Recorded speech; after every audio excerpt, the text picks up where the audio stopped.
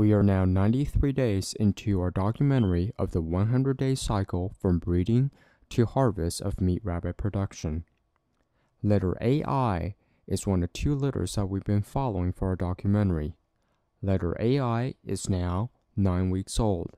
At 9 weeks of age, we like to see our rabbits weighing approximately 4.5 pounds.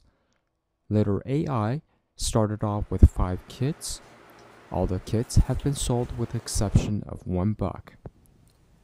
Today we will be performing the weighing of the last buck, buck 2AI.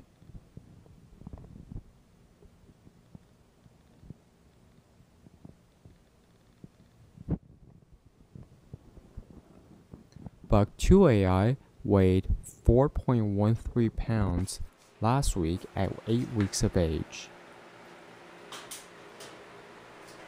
Today, he weighs 4 pounds and 13 ounces,